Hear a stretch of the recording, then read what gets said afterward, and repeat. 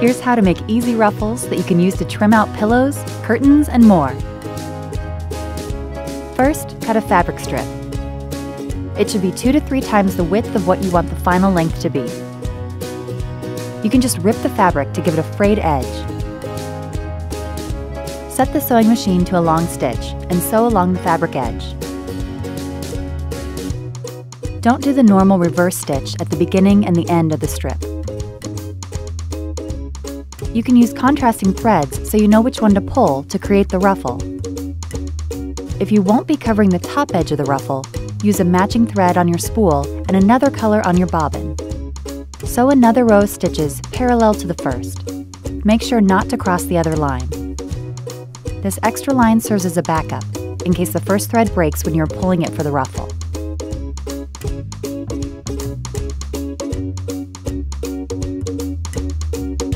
Pull the bottom or bobbin thread to gather the ruffle.